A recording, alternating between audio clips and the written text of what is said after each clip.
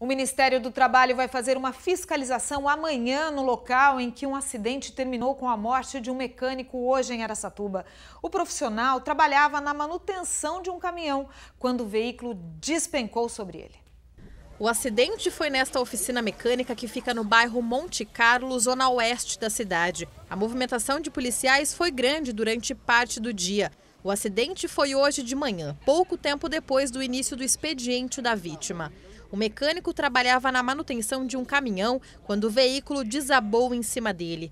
Roberto Carlos de Oliveira tinha 43 anos e morreu na hora. Chegando aqui, a viatura constatou a, a vítima já aparentemente em óbito e o proprietário da empresa relatando que estava prestando serviço né, de conserto no caminhão e alguma coisa de errado aconteceu que acabou lesionando mortalmente o indivíduo. O caminhão teria atingido a cabeça do homem depois da queda de um macaco hidráulico que dava sustentação para o veículo. A preservação do local e do corpo foi a primeira medida tomada pela Polícia Militar.